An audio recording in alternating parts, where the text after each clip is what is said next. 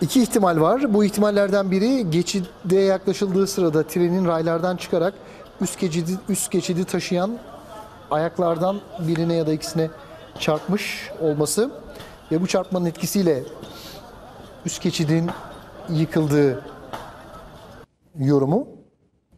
En kuvvetli yorumlardan biri bu. Diğeri ise e, bu kaza yerine gelindiğinde üst geçidin çökmüş, yani başka bir nedenden dolayı e, çökmüş olması ihtimali. O biraz daha zayıf bir ihtimal gibi görünüyor. Şu anda anlaşılan o ki tren e, geçide yaklaştığı dakikalarda e, raydan çıktı ve e, raydan çıktığı yerde de raydan çıktığı yerde de e, bu geçidi taşıyıcı ayaklarından birine çarpmış olabileceği yolunda. Ahmet Örsoğlu bir kez daha attığımızda. Ahmet e, yeniden merhaba.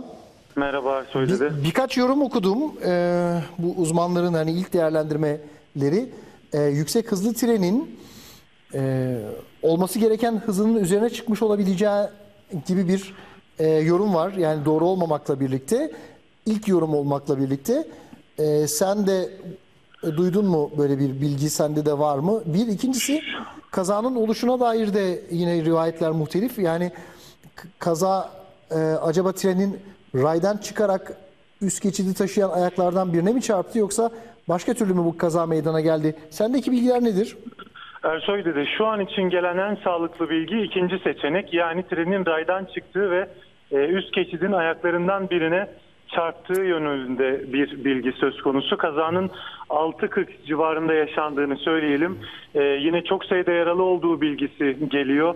E, makinistin yine sıkışmış olabileceği ve e, ekiplerin e, yaralıları kurtarma çalışmalarının devam ettiğini ifade edelim. Şu an için gelen ilk bilgi e, trenin yüksek hızlı seyrettiği yönünde değil. Çünkü e, genelde e, gardan çıkan trenler Ankara'yı terk edene kadar yani Polatlı'ya kadar e, düşük bir hızda seyrediyorlar. Bu e, güvenlik açısından e, normal bir prosedür. E, trenin e, yüksek hızda seyrettiği bilgisi şu an için doğru değil diyebiliriz. İkinci seçenek daha e, doğru görünüyor. Çünkü Ankara'da biraz önceki yayınımızda hatırlatmıştık. E, yoğun kar yağışı vardı. Sabah da e, buzlanma yaşandı. E, yollar ve yine rayların e, buzlanmış olabileceği ihtimali çok daha ağırlık kazanıyor. E, trenin e, raydan çıkmış olma ihtimali yine bu nedenle yoğunluk kazanıyor diyebiliriz. Bir kere daha tekrar etmekte fayda var. Peki Çok peki sayıda- sendeki sende e, mesela şey bilgisi var mı? Geçitte kimse var mıydı yoksa bu yaralılar ya da kurtarma çalışmaları senin yolcularına dönük olarak mı? Yani o çarptığı ya da çökmenin yaşandığı geçitte e, de insanlar var mıydı? Geçit için henüz bir bilgi yok ama trende yolcu olduğu bilgisini verebiliriz. E, trende çok sayıda yolcu vardı. Konya'ya doğru hareket ediyorlardı. E, yaralılar da şu an için e, maalesef trenin içindeki yolcular olarak görünüyor. E, şu an için e, bir ölü bilgisi yok. E, vermeyi de istemiyoruz. E, umarız e, o yönde bir bilgi gelmez ama ekiplerin çalışmaları devam ediyor. E, İki vagon mu bu kazada etkilenmiş gibi görünüyor Ahmet? E, bir daha alabilir miyim İki, Ersoy iki dede? vagon mu etkilenmiş gibi Şu görünüyor an için kazadan? iki vagon görünüyor. İki vagonun büyük Ama bir de makine dedin galiba değil mi? makinistin sıkışmış olabileceği e, bilgisi geldi. O yönde de kurtarma çalışmaları devam ediyor. E, vagonların hangi vagon olduğu henüz belli değil. İki vagon olduğu bilgisi gelmişti. E, ağır hasarlı olarak şu an için iki vagon görünüyor. E, makinistin de e, kurtarıldığı, kurtarılmaya çalışıldığı yönünde bir bilgi söz konusu. Kazanın yaşandığı yere dair de bir iki senden bilgi alalım ne olursun yeni açanlar için. Yeni mahallede Marşandiz üst geçidi değil mi burası? Marsa, Marşandis üst geçidi e, yüksek hızlı tren garına çok yakın bir mesafe. E, gardan çıktıktan sonra 5-10 dakikalık bir mesafe Arada başka istasyon yok. E, arada başka bir istasyon yok evet yakın bir istasyon burası. E, kazanın yaşandığı bölge merkezi Ha burası bir bölge. istasyon. Burada duracaktı zaten tren değil mi? E, normalde bu istasyonda e, durmuyor yüksek hızlı tren. İlk istasyonu Polatlı. Buradan geçiyordu sadece. E, geçerken yaşandı kaza.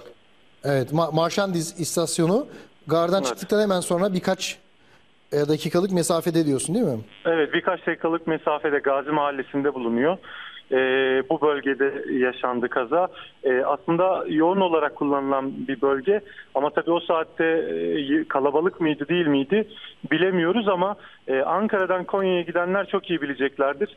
E, sabah ilk tren bu yüksek hızlı tren için ilk sefer. E, bu sefer de yaşandığını biliyoruz. 6.40 civarında yine kazanın yaşandığını biliyoruz.